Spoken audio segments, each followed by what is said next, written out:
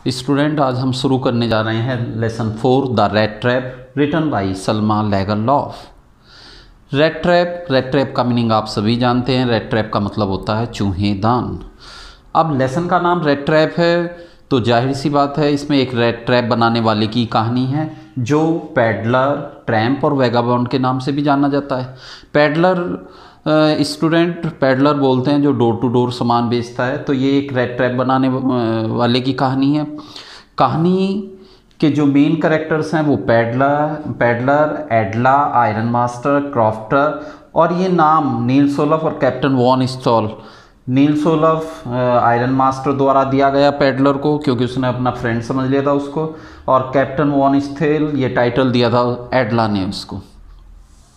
देखिए, जो कहानी है, वो शुरुआत, जो कहानी की है, पैडलर, जो कि वो रेड ट्रैप बनाता है और डोर टू डोर बेचता है। लेकिन इसकी जीविका इसी से भी नहीं चलती ये भीख भी मांग लेता है और इस तरह से ये जो है अपना गुजारा करता है। एक दिन ये सामान अपने रेड ट्रैप बेचता बेचता जो है इसे लेट हो जाता है तो ये एक कॉटेज देखता है क्रॉफ्टर की। क्रॉफ्टर भी एक करेक्टर है और क्रॉफ्टर का मतलब होता है जो किराए पर ज़मीन थोड़ी बहुत ज़मीन पर अपना गुजर बसर करता है, किराए पर लेकर उसको क्रॉफ्टर बोलते हैं। तो क्रॉफ्टर की कॉटेज दिखाई दी इसे। क्रॉफ्टर अकेला ही रहता है। लोनलीनेस का शिकार है वो। ना उसके बीवी हैं, ना बच्चे हैं, अकेला रहता है। तो जब इसने पैडलर को देर हो गई इसने नॉक किया कॉटेज का दरवाज़ा तो उसने बड़ी वार्मली इसको रिसीव किया बड़ी ज़ोर से इसका स्वागत किया क्योंकि वो समझ रहा था कि कम से कम भाई आज मेरे साथ कोई बात करने वाला होगा। उसने इसको पॉरिज खिलाया इसके साथ एक, एक गेम कार्ड जैसा गेम मजोलिस वो इसके साथ खेला और खूब बातें की और अपना टोबैको पाइप इसके साथ शेयर किया। अगले दिन ये दोनों अपने काम पर निकल जाते हैं और क्रॉफ्ट जो पैडलर है वो अपने चला जाता है, क्रॉफ्टर अपने काम पर चला जाता है। अब इस बीच पैडलर आधे घंटे बाद वापस आता है और शीशा तोड़कर पैडलर के, क्रॉफ्टर के पाउस से वो थर्टी क्रॉनर के तीन नोट निकाल कर ले जाता है। वो थर्टी क्रॉनर उसने उसके सामने गिन कर ही रखे थे। उसके सामने गिन कर भी इस वजह से रखे थे कि कहीं इसे ऐसा ना लगे कि भाई मैं इसका विश्वास नहीं करता।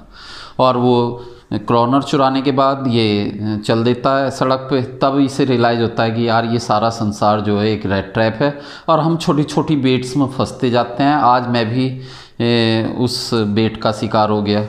लेकिन क्रॉनर चुराने के बाद इसको रियलाइज़ होता है कि कहीं सैरिफ मुझे पकड़ ना ले और ये शॉर्टकट लेना चाहता है। शॉर्टकट लेने के बाद ये एक जंगल में की तरफ़ मुड़ जाता है, लेकिन इस रास्ता नहीं मिलता। थक हार के ये एक पेड़ के नीचे बैठ जाता है।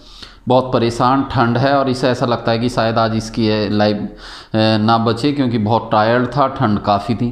फिर इसने हैमर की आवाज़ सुनी और हैमर की जो ये आवाज़ थी, ये एक आयरन मिल्स से आ रही थी, जिस, उसका नाम था Ramsjö iron mills iron master इसके ओनर थे।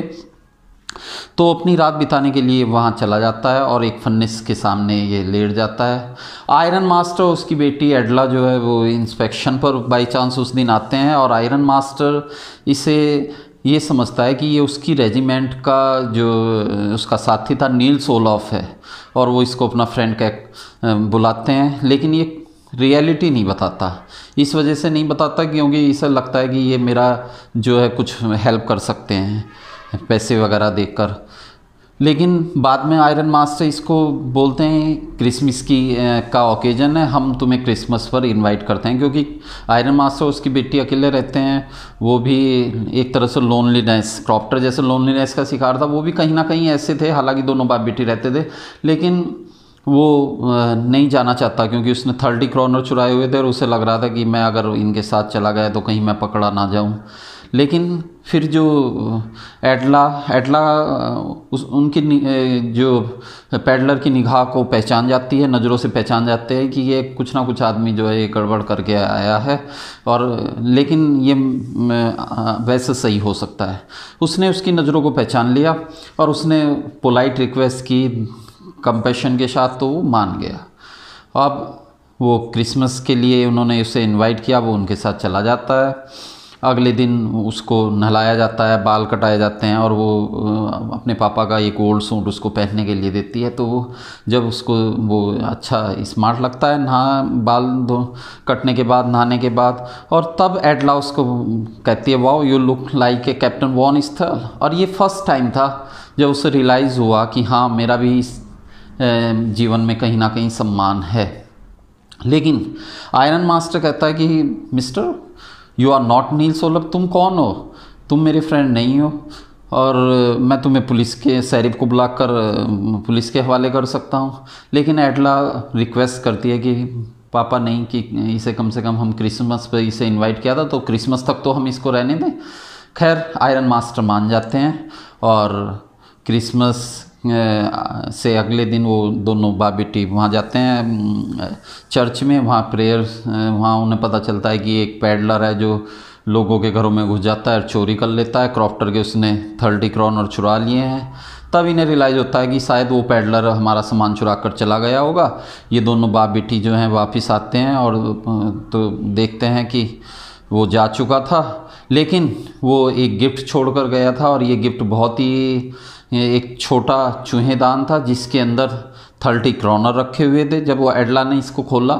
और एक नोट लिखा हुआ था जिसमें लिखा था I would have been caught in the rat trap if you had not given me the title of captain von Stahle यानी ये एडला की कंपेशन और काइंड बिहेवियर था, उसकी कंपेसे कंपेसनेट नेचर थी कि वो चेंज हो गया। और उसके अंदर सेल्फ रेस्पेक्ट की भावना आ गई। और सेल्मा लेगरलॉफ इसके माध्यम से हमें यही मैसेज देना चाहती हैं कि काइंड बिहेवियर और कंपेशन अगर हम किसी को प्यार से ट्रीट करते हैं तो एक बुरा आदमी भी अच्छा आदमी में बदल सकता है।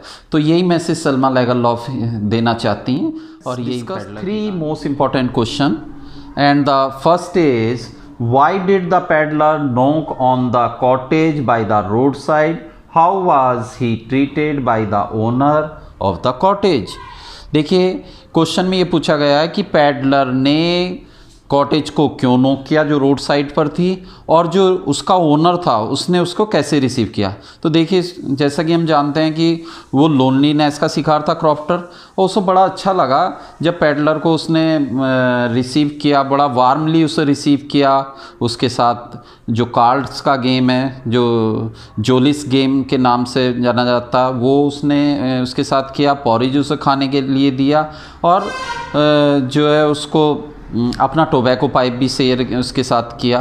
तो क्रॉफ्टर ने ऐसा इस वजह से किया क्योंकि वो लोनलीनेस का शिकार था और he wanted somebody talk to तो किसी को वो बात करने के लिए उसे चाहिए था।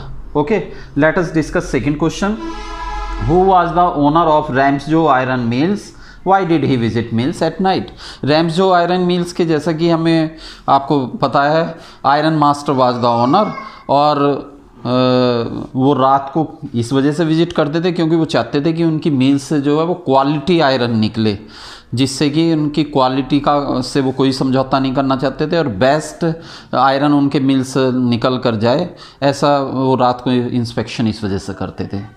और तीसरा क्वेश्चन है what were the contents very important question what were the contents of the package left by the peddler on Christmas gift for Edla will mention अब देखिए लास्ट में पेडलर ने हमें पेडलर क्रिसमस के ओकेजन पर iron master उन, और उनकी बेटी के साथ ठहरा हुआ था। अगले दिन वो चला जाता है। अब वो उन्हें बिना बताए चला जाता है। तो उनके लिए क्या छोड़ कर जाता है वो?